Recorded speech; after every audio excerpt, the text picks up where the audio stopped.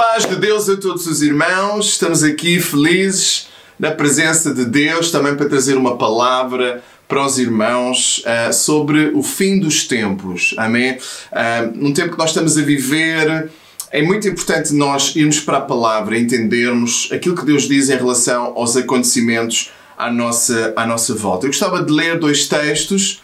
O primeiro está em Mateus 24, 3, que diz: Jesus estava sentado no Monte das Oliveiras. Então os discípulos chegaram perto dele e perguntaram em particular: Conte para nós quando é que isto vai acontecer. Que sinal haverá para mostrar que chegou o tempo de o Senhor voltar e de tudo acabar?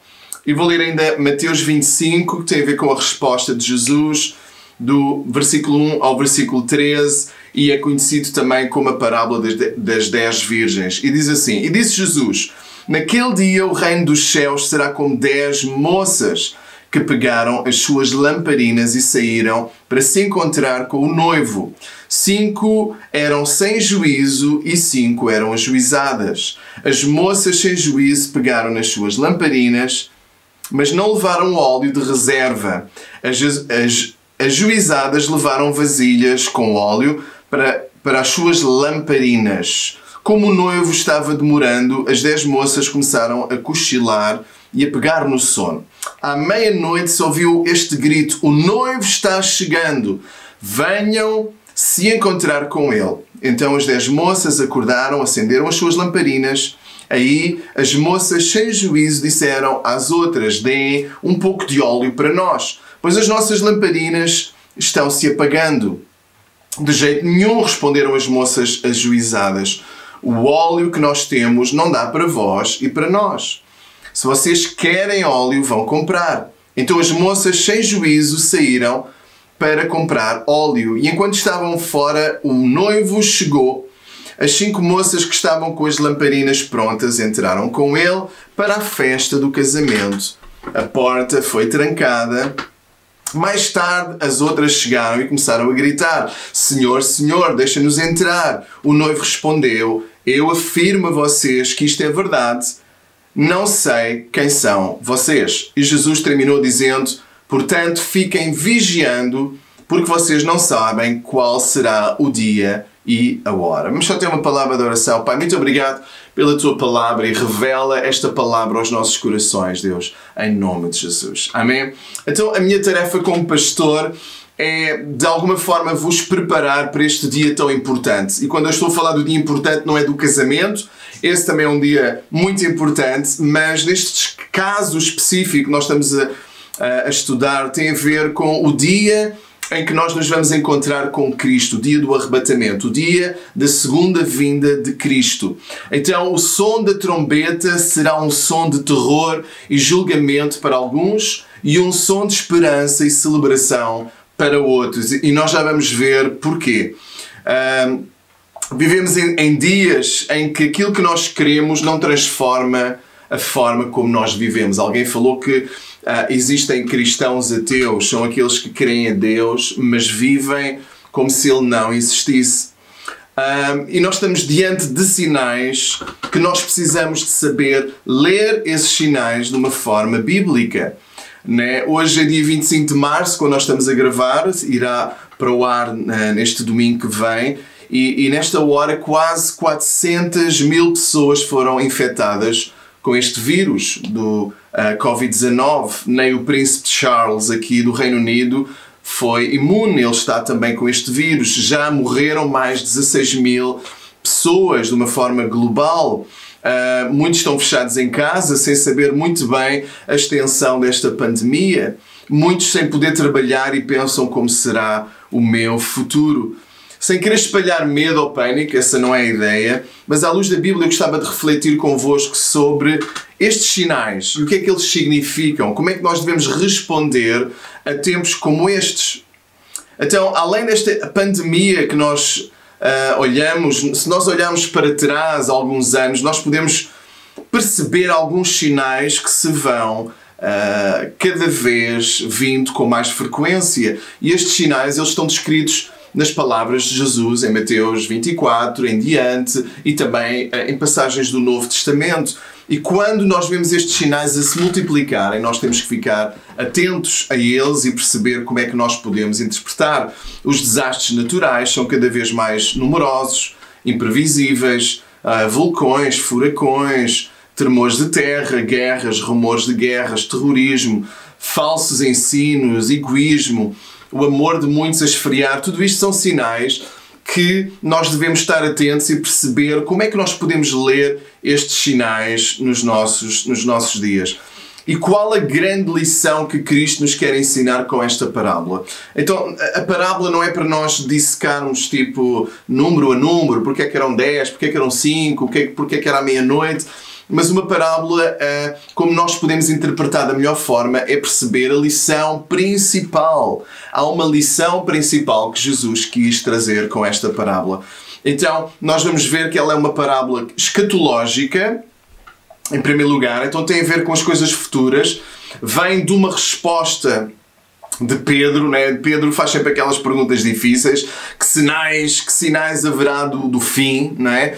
E, e nesta resposta Jesus conta esta parábola do reino. As parábolas de Jesus mostram como é que o reino de Deus ele é. Então fala sobre dez virgens e cinco entraram na festa de casamento, nas bodas, e cinco ficaram de fora porque não tinham óleo e tiveram que ir comprá-lo. Então há aqui uma figura também do juízo final. Elas queriam entrar e elas não puderam entrar. Dez virgens são aquelas damas de honor, não é? E, e naquela altura, quando o noivo entrava na festa, então os convidados já não podiam entrar. Era importante que os convidados chegassem sempre antes do noivo. E é interessante que todas elas foram convidadas para o casamento. Né? E, e, se alguma coisa que nós encontramos nesta parábola é que a graça de Deus e o reino de Deus ele, ele, ele se estende a todos vocês, a todos nós. É alguma coisa que está disponível para todos. Uh, para todas as pessoas. O noivo aqui nós entendemos que é Cristo, que é o Rei, Uh, e nós, nós encontramos passagens que falam acerca de, desta analogia da Igreja de Cristo como noivo uh, e a noiva sendo a igreja. E nós encontramos aqui também uh, a vinda do noivo. Jesus disse, ele veio a primeira vez, ele nasceu na, na, na, manjedoura, como nós conhecemos bem a história do Natal, mas ele disse, ele ascendeu aos céus e ele disse, eu virei outra vez. E haverá sinais uh, que nos indicam que a sua segunda vinda ela está próxima. Então, essa vinda do nosso Rei Jesus uh, diz que vai apanhar muitos desapercebidos. E é importante que tu e eu não possamos, não possamos ser apanhados desprevenidos. Então, as damas de honor descuidadas são aqueles que sabem aquilo que é preciso fazer, mas mesmo assim vivem à sua maneira. Vivem à sua maneira. Mateus 7, 22 e 23, a palavra de Deus diz o seguinte: Quando aquele dia chegar, muitas pessoas vão me dizer: Senhor, Senhor, pelo teu poder, nós anunciamos a mensagem de Deus. E pelo teu nome nós expulsamos demónios e fizemos muitos milagres. Então eu direi claramente a essas pessoas: Eu nunca conheci vocês, eu nunca vos conheci. Afastem-se de mim, vocês que só sabem fazer o mal. Então, o que é que desqualificou? O que é que nos pode desqualificar de entrar nas bodas, de entrar na comunhão, de, de nós sermos aceitos por Deus. Uh, e aqui nós encontramos esta, esta expressão, Senhor, Senhor. Havia uma aparente intimidade. Uh, e muitas vezes há tantas pessoas que conhecem intelectualmente até versículos e nós encontramos nas nossas igrejas, levantam os braços, uh, sabem versículos de cor, pessoas religiosas uh, e que têm alguma intimidade com Deus. Na, na, na, Bíblia, quando nós encontramos Abraão, Abraão, ou, ou Jacó, Jacó, Marta, Marta, uh, nós, nós percebemos que há ali uma, uma intimidade, uma chamada de atenção, mas era, era uma intimidade fictícia ou religiosa, realmente não havia intimidade com o noivo. O que é que representa o óleo aqui nesta parábola? Havia uma aparência, mas sem conteúdo um vaso sem brilho. Diz que à meia-noite veio, toca o, o, a buzina, o alarme que o noivo estava a chegar e elas já não tinham brilho nas suas lamparinas. Elas deixaram que o brilho se apagasse, elas deixaram, uh, muitas pessoas deixam que esse brilho de Cristo se apague, a obediência, a intimidade com Deus, um verdadeiro relacionamento com Deus se, se dissipe e possa apenas sobrar religião e bons Uh, e boas obras. Então, o cristianismo sem brilho, sem vida, sem relacionamento e sem obediência não interessa. O que é, que é ser louco? Estas virgens elas são chamadas, em alguns contextos, louco ou nécio na Bíblia. Louco é aquele que sabe o que está certo, mas faz o oposto. É aquele que tem uma motivação errada, centrada nele mesmo. Conhece até o Evangelho, mas vive como se não, como se não o conhecesse. Então, ah, nós não sabemos a hora.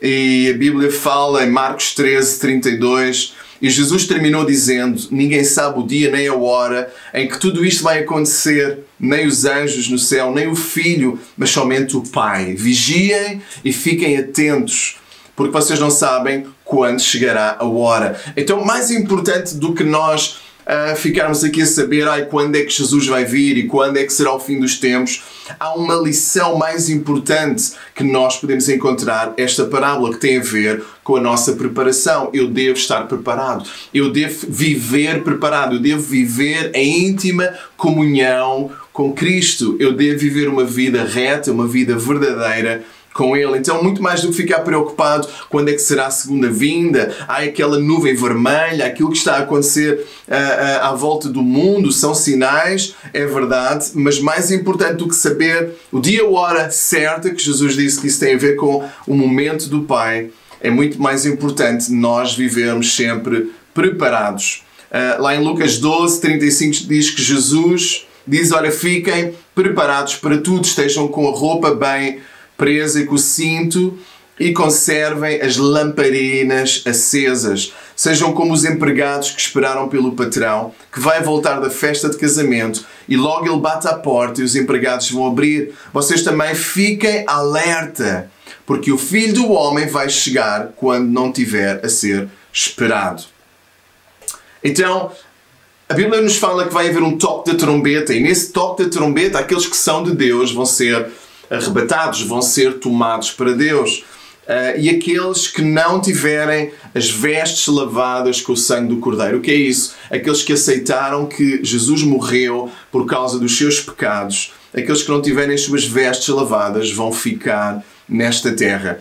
Então, o Rei Jesus é o Senhor do nosso coração. Será que Ele é o Senhor do teu coração? Esta é a grande pergunta. Ele suportou na cruz do Calvário por causa da alegria futura, por causa da tua vida. E deixa-me dizer-te que aquilo que mais importante eh, tu refletires e pensares é: será que Cristo é Rei?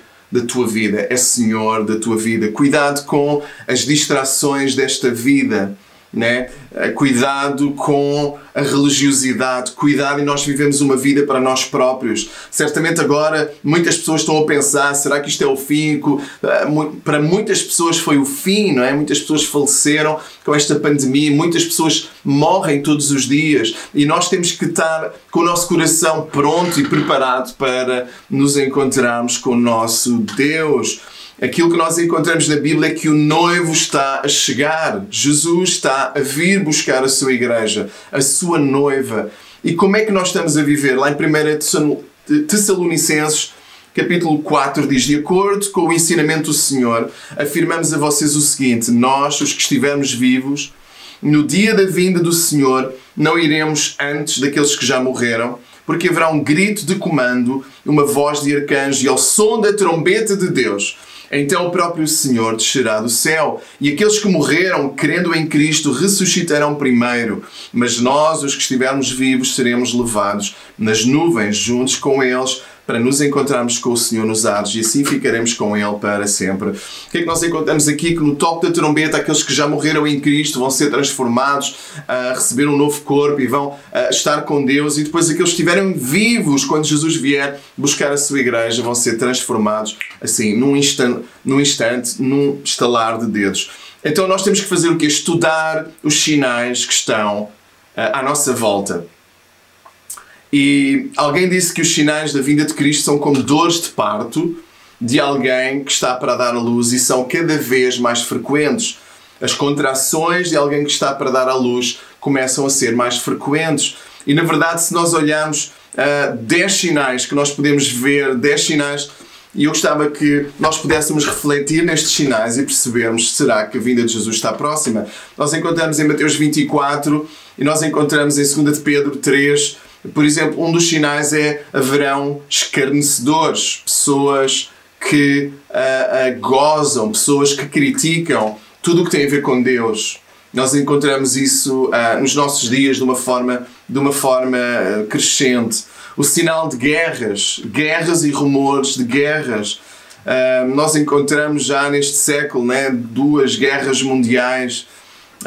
nós encontramos milhões de pessoas que morreram Uh, nós encontramos que nós encontramos na história recente e antiga que estas guerras elas elas se vão multiplicando e os rumores de guerras. As guerras não só físicas mas guerras económicas e outro tipo de guerras que nós nós encontramos. A própria uh, rumores de guerra que têm a ver com terrorismo têm a ver com outros ataques uh, às vezes às vezes até por internet etc podem danificar uma nação.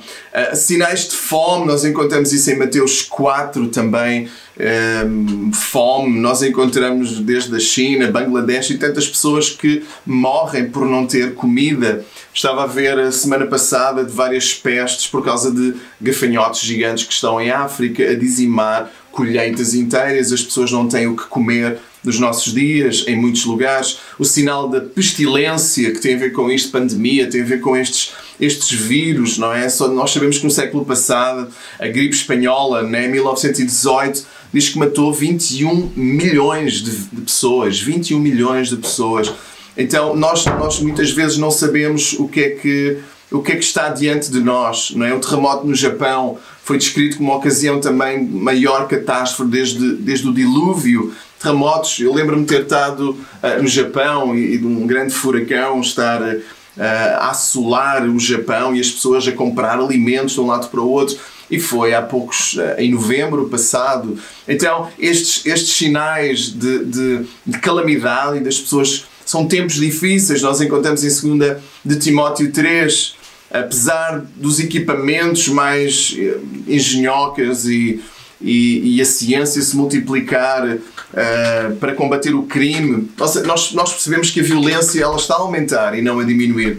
O assassinato, uh, o estupro, o roubo, a pornografia, o tráfico humano, o aborto continua a aumentar. Alguns falaram que durante este tempo que as pessoas não podem sair à rua por dia, milhares e milhares de abortos foram evitados por causa das pessoas não irem a estas clínicas.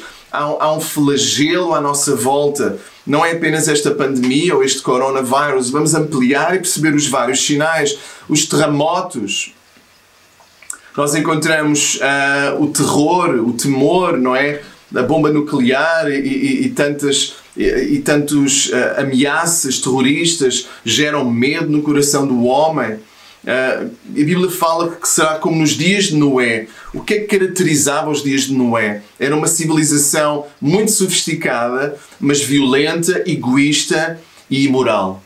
Violenta, egoísta e imoral. Será que isto não é uma descrição dos nossos dias, onde as pessoas vivem tanto para elas mesmas? Eu espero que ao passarmos, não é, como humanidade e como civilização este tempo, onde temos que estar em casa, não podemos estar nas igrejas, não podemos ir aos clubes, ao cinema, não podemos estar em lugares públicos a assistir a um concerto, que nós possamos pensar e nós possamos ser um pouco menos egoístas e possamos perceber o tempo de família tão precioso e olharmos para a palavra de Deus e entendermos uh, que nós precisamos de mudar este egoísmo, esta violência e esta imoralidade.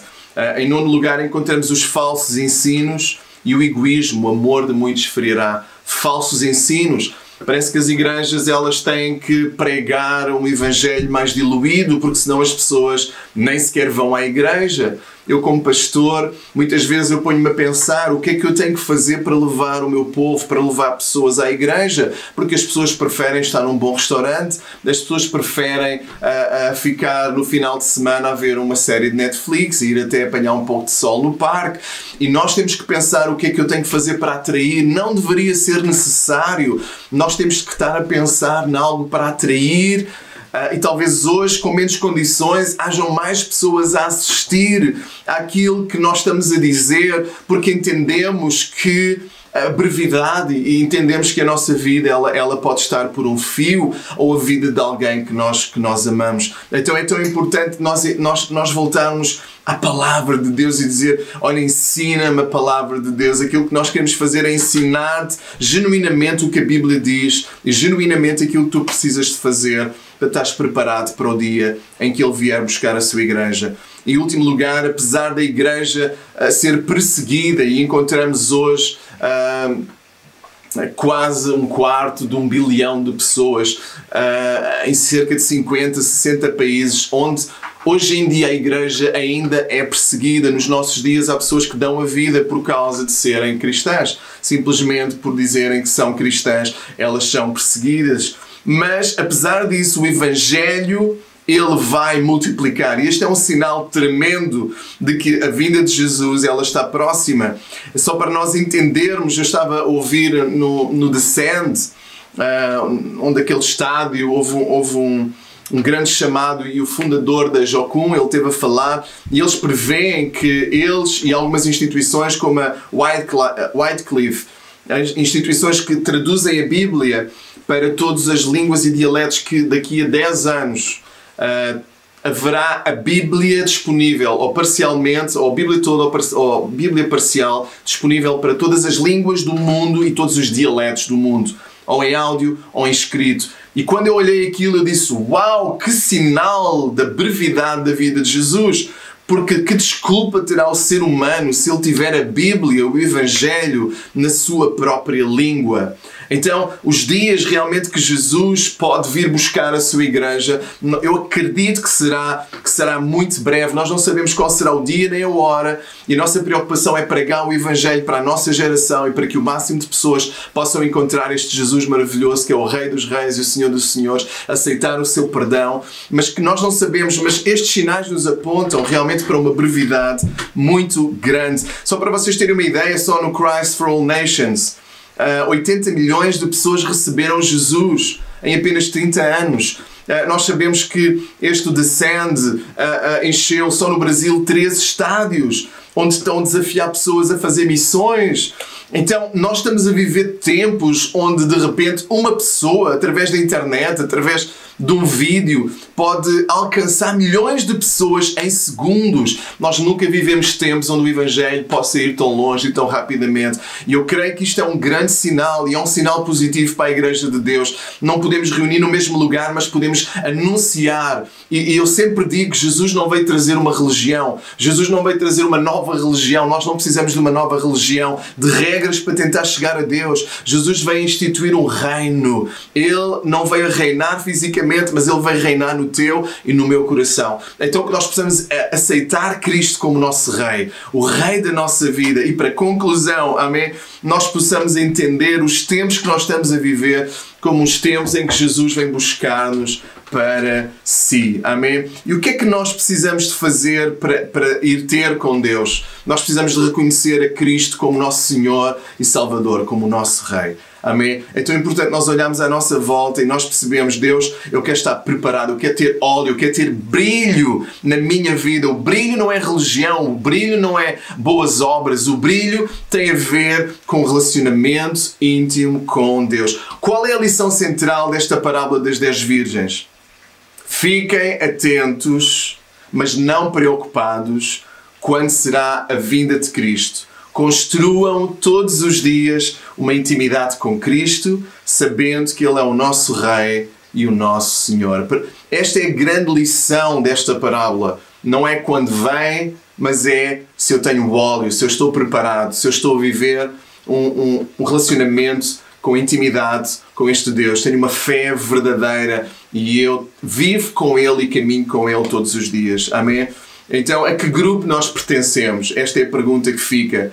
Aqueles que estão preparados, aqueles que sabem tudo sobre Cristo, mas vivem à sua maneira, sem intimidade, sem relacionamento com Deus? Será que nós somos aqueles que até fazemos boas obras, tentamos fazer o bem, mas, mas Deus está lá e eu estou aqui, não há um relacionamento? Jesus está lá na cruz, foi à cruz, mas eu estou aqui. Ou será que nós pertencemos àquele grupo que reconhece Deus, eu sou pecador, tem misericórdia de mim, eu preciso da tua justiça, eu preciso de, do sacrifício que tu fizeste, eu preciso de aplicá-lo pela fé na minha vida. Então a salvação é apenas pela graça de Deus, por meio da fé. Eu tenho que acreditar naquilo que Cristo fez em meu lugar e quando o toque da trombeta vier, nós vamos estar prontos. Deus vos abençoe. Amém. Próxima semana vamos estar a falar ainda sobre uh, os sinais dos tempos e alguns pormenores daquilo que vai acontecer no futuro. Então fique ligado. Nós vamos estar durante a semana também uh, em contacto, vamos estar a orar e se tiver alguma necessidade, nós estamos aqui também para ajudar. Se nos está a ouvir e não tem um relacionamento pessoal com Deus, ou o seu relacionamento pessoal com Deus está a esfriar, você está a dar lugar ao medo, o amor vence o medo. Se há medo no seu coração, talvez o seu relacionamento com Deus esteja fraco ou não exista. E eu quero te desafiar hoje, agora, a fazer esta oração comigo. Se tu queres estar pronto para esse dia, diz assim: Senhor meu Deus, obrigado pelo teu amor. Eu quero ser como aquela virgem prudente que tem óleo na sua vasilha, tem brilho na sua vida. Eu aceito Jesus como o meu Rei e Senhor. Eu quero viver uma vida de intimidade com Ele, uma vida de proximidade. Aceita-me como um dos teus filhos, em nome de Jesus. Amém. Aleluia. É simples, é maravilhoso, Deus é bom, nosso Rei é fantástico. Obrigado por ficar aí uh, desse lado e nós, nós vamos estando em contato. Deus abençoe.